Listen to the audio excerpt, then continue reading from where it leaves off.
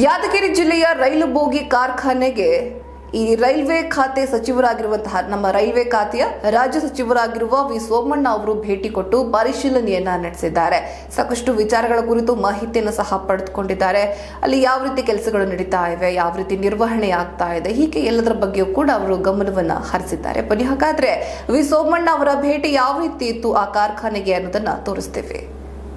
ಯಾದಗಿರಿ ಜಿಲ್ಲೆಯ ಕಡೇಚೂರು ಬಾಡಿಹಾಳ ಗ್ರಾಮದ ಬಳಿಯ ರೈಲು ಬೋಗಿ ಕಾರ್ಖಾನೆಗೆ ಕೇಂದ್ರ ರೈಲ್ವೆ ಖಾತೆ ರಾಜ್ಯ ಸಚಿವ ವಿ ಸೋಮಣ್ಣ ಭೇಟಿ ನೀಡಿ ಅಲ್ಲಿನ ವ್ಯವಸ್ಥೆಗಳನ್ನು ಪರಿಶೀಲಿಸಿದರು. ಬಳಿಕ ಅಧಿಕಾರಿಗಳೊಂದಿಗೆ ಚರ್ಚಿಸಿ ಮಾಹಿತಿಯನ್ನ ಪಡೆದುಕೊಂಡರು.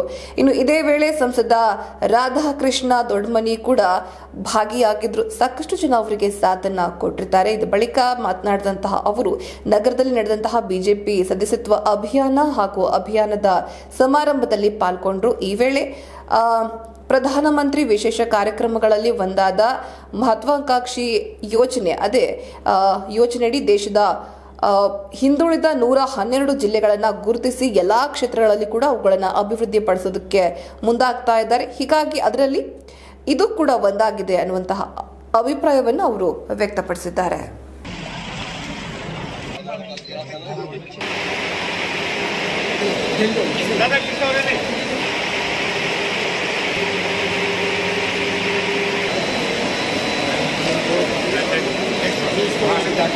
चलिए चलिए चलिए चलिए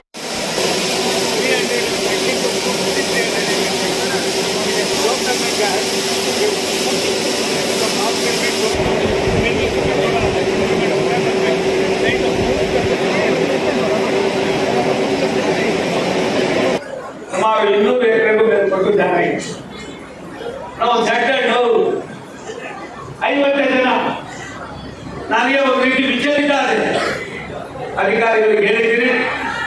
ಇನ್ನೊಂದು ಹದಿನೈದು ದಿವಸ ಕಳಿಸ್ತೀನಿ ನಮ್ಮ ಮಂತ್ರಿಗಳಾದ ಅಶ್ವಿನಿ ವೈಷ್ಣವ್ ಮಾತಾಡ್ತೀನಿ.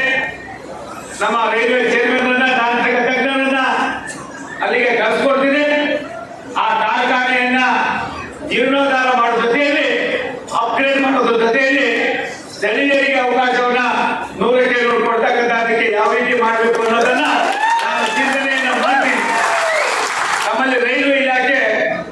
ಒಂದು ರೀತಿ ಮಿಲಿಟರಿ ಇದಾಗಿ ಇವೆಂಟ್ ಯಾವ ರೀತಿ ಬಂದ್ರೆ, ಅದೇ ರೀತಿ ಮಿಲಿಟರಿ ಇದು ರೈಲ್ವೆ ಕೂಡ. ತೊಂಬತ್ತಾರು, ತೊಂಬತ್ತೇಳರಲ್ಲಿ ಏನು ಆದೇಶಗಳನ್ನು ಮಾಡಿದ್ರು?